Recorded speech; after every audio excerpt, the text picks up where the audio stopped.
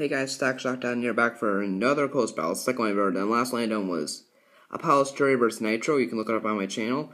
Today we're going to be doing Alpengeist versus, uh, I said in the last video I was going to do this at some point, and here it is, versus Talon.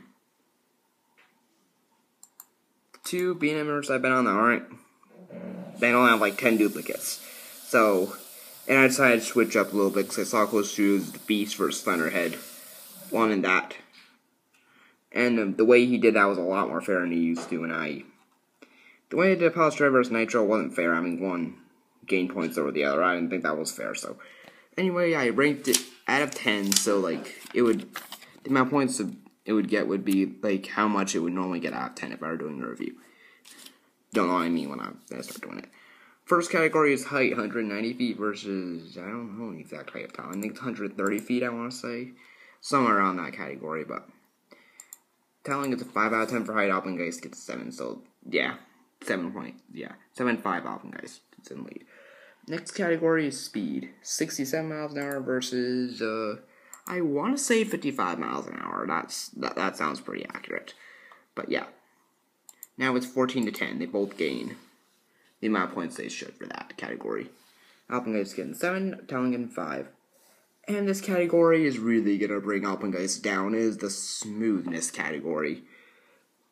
Alpengeist was is one of the roughest was one of the roughest B&Ms I've ever been on. I was very disappointed with it. While Talon, on the other hand, was glossy smooth the whole ride, zero headbanging, beautiful. Alpengeist got five points for that. Talon got ten because the because the thing's out of ten. So it's nineteen to twenty. Talon's in the lead. Alpengeist, um, thing with Alpengeist is that it has the worst B&M rail you'll ever experience. My god, I came off this thing with a headache nearly every time I rode it. The B&M rattle is just horrific, and during the roll, ow, that thing is just, ugh, terrible. And the mid-course break run, that slams you in there almost like a, like it slams you in there as it's going to a dead stop. It's yeah, it's, it's for a B&M with smoothness, it's brutal. The next category is inversions, and naturally, the smoother inversions are gonna win. That's just how it is. And so, it's so Alpengeist got a four for that category, and Talon got a five. So it's 23-27. Talon is in the lead because that Cobra and Alpengeist, like I said, is brutal. The vertical loop is good. The Immelmann is alright. The corkscrew is rough. The zero G roll isn't that great. Some of the inversions are good elements, yet on Alpengeist is just rough. It was definitely a disappointment. So, well, has every single inversion smooth. No headbanging whatsoever. Seems like it was built just yesterday. But I'm not rating Alpengeist just off of B and M's. If it were, if I were rating it for smoothness based off of all B and M's, would have gotten like a one or something. But this is just on all coasters in general. So naturally, score got for smoothness is a five out of ten.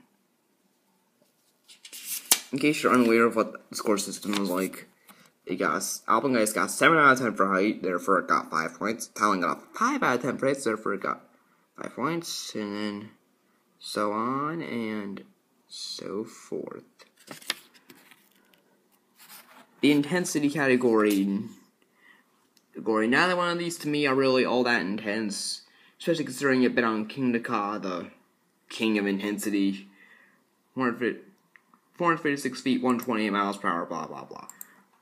But Talon got a 6 out of 10 for intensity because it's kind of calm compared to most of the B&Ms. You wouldn't think it's really all that intense, and it's really not. It got a 6 out of 10 for me for intensity, but I'm guessing on the other hand, I've actually grayed out not because of the massive headbanging, no, it was because it was actually pretty intense. It's not the most intense B&M that uh, that was ever built. That award goes to Fury, no doubt. But yeah, it was actually fairly intense. So Alpengeist got seven points for that. Talon got six, making it 30 to 33 Talon. Next is the drop. And these are how enjoyable the drops are. Now, you normally you expect me to like the bigger drop or the steeper one. And has both. Yet that drop jerks you around. Like I said, the B&M rattle on Alpengeist is like the worst you will ever experience. I'm a like on a B&M, not the worst roughness cycle dealer experience. That award goes to an SLC. I'll be doing that review. Um, uh, might end up being my Halloween special. I don't know. I have to see about that. Um, uh, but yeah, Talon has not the bigger or steeper drop, but the better one because it actually is smooth. Whereas Alpengeist drop isn't. And next category, this was. Th- these both got 7 points right. It was the restraints. They're both very good. Alpengeist is better than it could be because it has the soft headrests. So it's not unbearable. It's it's not greatly smooth either, like I was saying. This was why it's made me play an Alpengeist. If it was let me just say I would have liked Talon more if Alpengeist was smoother. Or I would have liked Alpengeist more if it was smoother. But I just came off with a headache and disappointed and just not it wasn't very rewritable, so yeah. And um, yeah, so yeah, they both got seven points to the restraints, making it forty-two to forty-six Talon one. That was probably unexpected by a lot of people, but I generally think Alpengeist is overrated. I don't find it as I don't think it's the best B and M invert out there. I like I said, I found it to be a, quite disappointing, but the Talon is currently the best B invert that I've been on. I know Banshee beats it in every way, but I haven't been on it. But once I do, uh, it's very safe to say I don't think Banshee's gonna beat it in every way. Especially that pretzel that looks sweet. I think it's better than Volcano, actually. And it might even be better than the Beast. I'm not sure. I need to think that out. But anyway, if you like this coaster battle between Alpengeist and Talon, Talon, the two being inverts I've been on that are not at Six Flags parks that are decently similar, please give a like rating, comment, subscribe, share this video amongst your friends, and if you check out other videos like this available on my channel. Have a wonderful day, kids.